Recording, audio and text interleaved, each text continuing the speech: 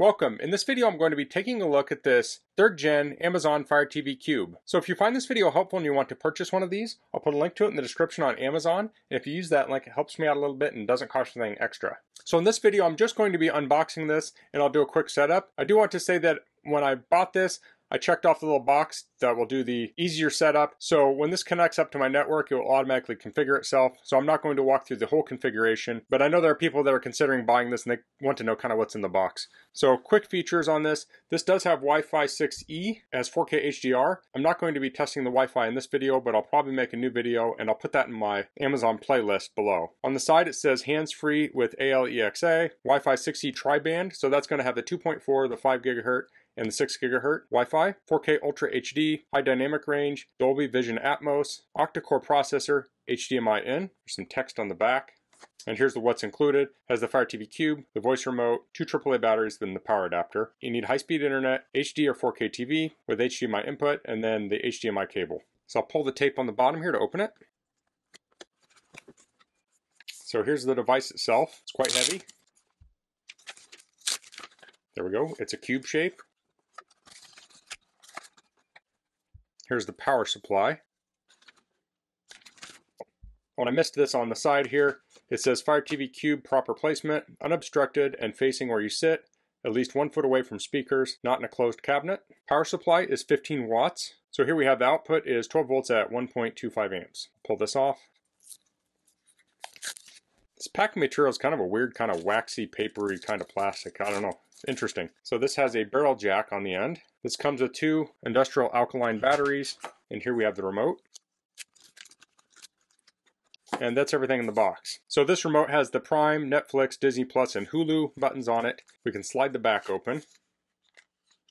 So you slide it partway down, then you lift it off, and then the batteries will go in here, like so. We'll place that back on, slide it back in place. Okay, so let's take a closer look at this. So it has rubber on the bottom, it has a speaker grill all the way around.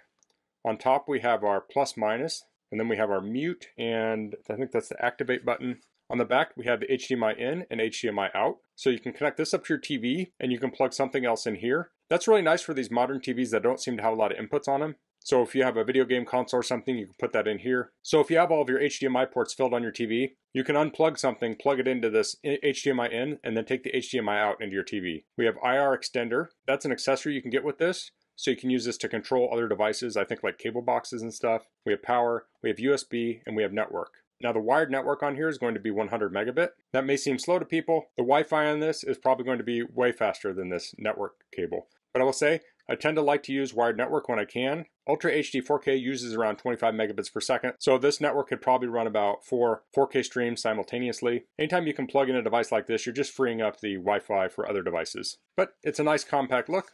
Then inside the box the power supply. Looks like we have a little box here. I think this is just a spacer.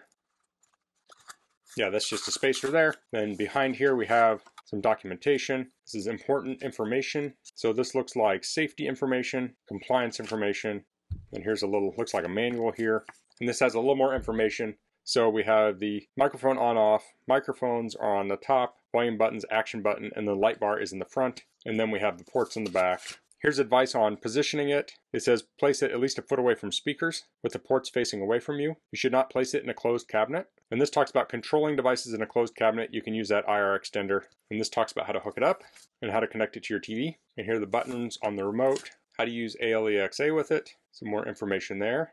Okay, Okay, so here I have a TV. We're looking at the back of it, and I have three HDMI ports here. I have HDMI 1, HDMI 2, and HDMI 3. So depending on your setup, you may want to use one port or the other. Where I put this specific TV, it has lots of room behind it, so I could probably use HDMI 3, which I would probably use so it's not sticking out the side of the TV. I guess I should show this is the side of the TV here.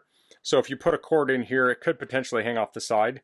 Now you can get specialty cords that have right angles on them and things, but if you want a clean setup, I would get a cable that is going to be the shortest length that will fit and then also make sure you get a cable that supports whatever you're using. This is only a 1080p TV, so I don't need 4K support. I think this cable would support 4K, but you do want to make sure your cables are compatible with your TV and the Fire TV. So I'll plug my cable in here, and then the other end will go in the back of the Fire TV. Okay, so I plug this into my TV, and I missed the record on that, but it wanted me to hit the home button. So I hit the home button and then it asked what language I wanted. I said English and then it rebooted and it's updating. So that's typical of a device like this when you first get it. It will install the latest updates so you have the latest software on it. It says welcome to Fire TV. I'll hit got it. I'm watching. And we have the main menu up.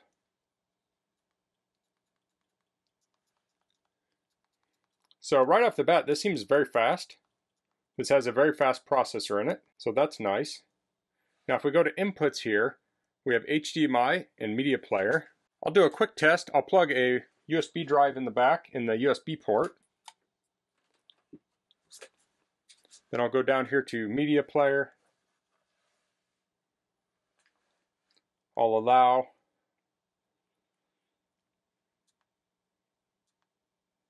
and I'll play a video.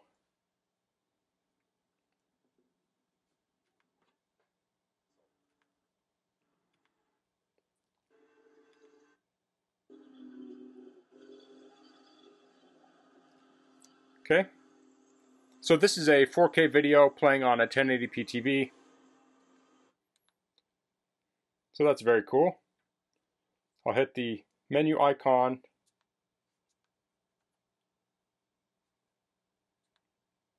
It doesn't seem to have an eject, so I'll just pull it out.